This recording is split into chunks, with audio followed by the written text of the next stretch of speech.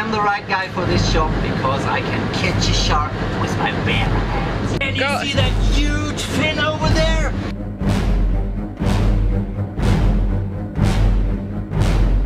Hi, I'm Thomas. I'm a professional diving instructor in Sharm el Sheikh. I live in Egypt since one and a half years because I love to share my passion for the underwater wonders with people from all over the world.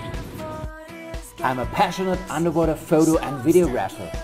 I would love to become the island caretaker as I love the sun, I love the sea, and above all, I love to discover new things every day and share them with others.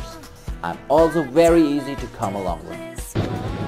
What's great about my job is that I meet people from all over the world and I love making every day a beautiful experience to them. Thanks for watching